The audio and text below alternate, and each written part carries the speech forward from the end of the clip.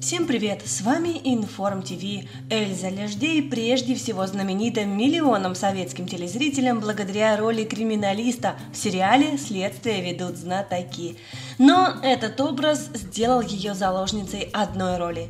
Ей прочили потрясающую карьеру в кино, но она тихо пропала с телеэкранов и также тихо ушла из жизни.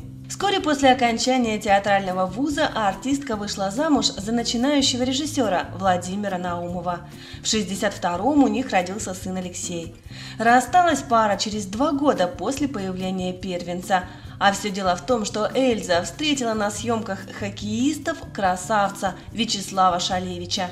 Спустя 10 лет Владимир Наумов женился на Наталье Белохвостиковой. А вот двухлетний роман Леждей с Шалевичем так и не увенчался браком. Пара распалась, но остались теплые дружеские отношения. Второй и последний официальный брак актрисы был с красавцем, интеллигентом Всеволодом Сафоновым. Побывав на вершине славы, актер очень тяжело переживал забвение. Проблему при этом топил в алкоголе.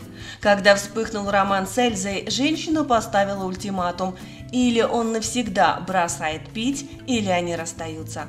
В итоге Сафонов все-таки поборол зависимость ради любимой. В 71-м они поженились, а вместе прожили долгих 20 лет. Сафонов скончался от рака в 92-м.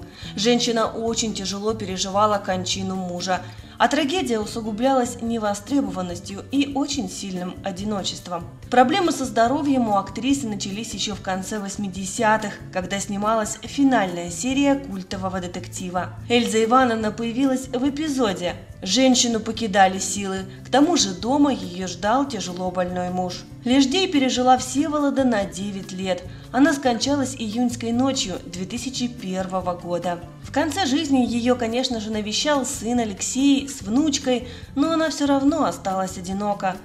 О болезни актрисы ей, кстати, поставили тот же диагноз, что и мужу, гордая женщина никому не рассказала.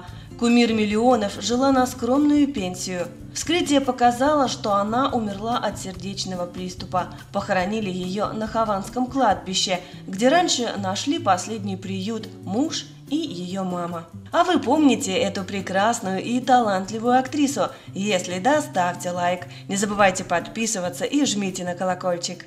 Удачи!